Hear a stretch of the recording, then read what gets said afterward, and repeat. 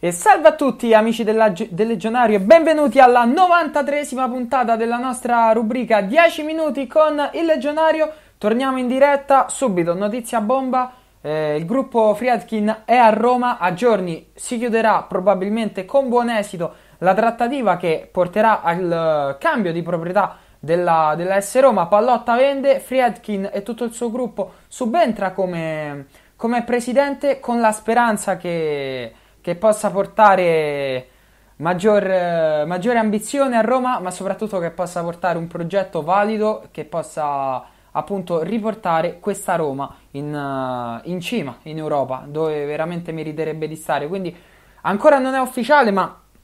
le due, le due, parti si, sta, si, stanno incontrando, si sono incontrate ieri, si sono incontrate questa mattina e eh, si rincontreranno oggi, si rincontreranno in questo pomeriggio. Tra l'altro Petrachi è eh, attualmente nella sede dell'Eur eh, della Roma um, all'Euro appunto e insomma la trattativa sembrerebbe poter andare a buon fine. Ringraziamo Pallotta per uh, alcune cose buone che ha fatto perché indubbiamente alcune cose, alcune cose buone sono state fatte come aver portato a Roma diversi giocatori buoni, come aver uh, riportato la Roma in Europa uh, avendoci fatto accarezzare quel sogno della Champions League dopo averci portato in semifinale. Certo, tante cose non sono, non sono andate bene, come ad esempio, eh, a mio parere, il, il, trattamento di alcuni giocatori simbolo di questa, di questa squadra, come alcune eh, cessioni che eh, probabilmente andavano evitate per tenere la squadra, per tenere la squadra competitiva. Comunque, gli errori si fanno. Il bilancio è che eh, dal 2011 ad oggi, quindi in nove anni, la Roma non ha vinto nulla, quindi non è che sia in quanto a trofei, è, il bilancio è tutto fuorché eh, positivo.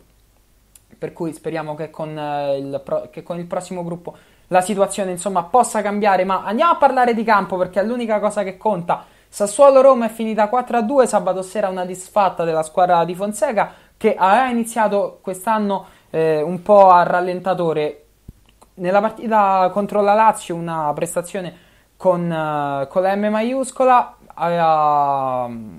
trovato, sembrava poter aver trovato la quadra, però evidentemente non, uh, non, uh, non, è così perché contro il Sassuolo abbiamo fatto una partita veramente orrenda, soprattutto nel primo tempo, le partite durano 90 minuti, la squadra si è svegliata soltanto nel secondo tempo e non va, non va, non va assolutamente bene così c'è stato un chiarimento tra Fonseca e la squadra sicuramente a Trigoria eh, il lunedì quando sono ripresi gli allenamenti. Bisogna ripartire già da venerdì perché c'è una partita fondamentale contro il, uh, contro il, Bologna, una squadra insidiosa, Bologna che è undicesimo a 30 punti, ricordiamo che la Roma è quinta a 39 punti, affronteremo la squadra di Sinisa Mihailovic che è reduce dal 2-1 sul Brescia, in casa davanti al nostro pubblico dobbiamo assolutamente fare bene. E, mm, certo non potremo contare, ahimè, su Lorenzo Pellegrini che si è fatto buttare fuori, quindi è squalificato nella partita contro, nella partita contro il Sassuolo, è stato espulso. Per cui il dubbio è Perotti, Pastore, entrambi sono rientrati. Perotti può giocare sulla tre quarti, c'è Pastore che scalpita con la speranza che eh, sia quello di, di, qualche mese fa. Poi ha avuto questa botta all'anca ed è, ed è sparito. Purtroppo uno dei limiti più grandi di Javier Pastore è proprio la sua fragilità fisica. Sarà una partita non facile sicuramente, ci si aspetta molto da determinati giocatori, soprattutto nella retroguardia che nella prima parte di stagione era stata uh, il fiore all'occhiello della squadra di Fonseca. Nelle prime 5 partite di, di questo 2020 in campionato la, la Roma ha preso ben 10 gol, per cui c'è qualcosa che non va e qualcosa su cui bisogna lavorare. Poi, insomma, però ci sono state troppe polemiche, secondo me, eh, dopo la fine di questo mercato che ha portato a Roma tre giocatori giovani, eh, Perez, Villar e Ibagnez, poi più vabbè Bruno Perez che è rientrato dal prestito in Brasile e la società ha deciso di tenerlo. Certo, le, la cessione di Florenzi che ha lasciato un po' l'amaro in bocca a, non a tutti ma a molti tifosi, eh, più che ovviamente dal punto di vista eh, sentimentale, dell'affetto, dal punto di vista proprio numerico e ta- tattico e tecnico ti lascia un po' con, con, qualche, con, qualche, punto di domanda perché Florenzi era un giocatore duttile che poteva fare più ruoli, la sua esclusione porta eh, in- inevitabilmente fino a che non rientra Zappacosta ad avere due terzini destri che insomma Santon e Bruno Perez non sono come Spinazzola e Kolarov dall'altra parte. La speranza è che possano fare il meglio possibile e che Santon possa essere sempre quello del derby perché ha fatto una partita incredibile al derby. Certo col Sassuolo non ha giocato bene, ma tutta la squadra non ha giocato, non ha giocato per niente bene, ne salvo due con, con il Sassuolo, cioè Spinazzola e, eh, e Geco. Però insomma, per una squadra che ambisce al quarto posto avere come terzini Santon, che comunque è un giocatore una buona riserva, e Bruno Perez che viene da un anno e mezzo di prestito in Brasile, nella Serie B brasiliana in cui ha giocato credo due o tre partite, insomma è una scelta un po' azzardata ma che rispetto da parte della società e spero che, eh, sia, e spero che, questa, che questa scelta venga ripagata. Certo, avere un Florenzi in più avrebbe fatto comodo fino fino a giugno, però eh, ognuno fa le sue valutazioni e speriamo che Zappacosta che dovrebbe tornare a marzo se tutto va bene, prosegue il suo percorso riabilitativo così come gli altri infortunati, eh, possa fare bene possa prendersi il posto da, il posto da titolare e, e speriamo che la Roma possa avere un benedetto terzino destro che da un po' di anni a questa parte ormai non trova un terzino, mentre a sinistra abbiamo trovato eh, con Kolarov una garanzia anche se in queste ultime partite è andato in panchina comunque Kolarov è un signor terzino Spinazzola sta giocando molto bene dopo la, eh, la telenovela che, che, era successa il mese scorso con l'Inter eh, a Roma sembrerebbe essere tornato un, un altro giocatore praticamente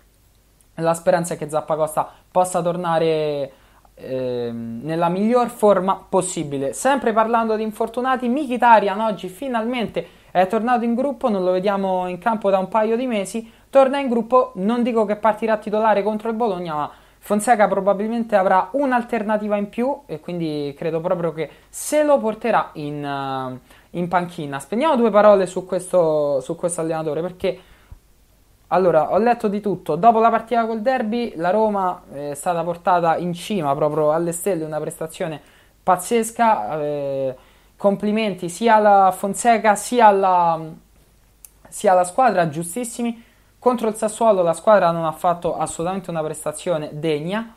eh, però insomma da qui a dire indegni, stagione compromessa, Fonseca dimettiti, dai ne passa, cioè ci vuole equilibrio un po' negli giudizi, è stata una partita io capisco se perdi 10 partite di fila, insomma, due domande te le fai, però è stata una partita. La Roma non sta vivendo sicuramente il miglior momento. Abbiamo iniziato questo 2020 un po' con ehm,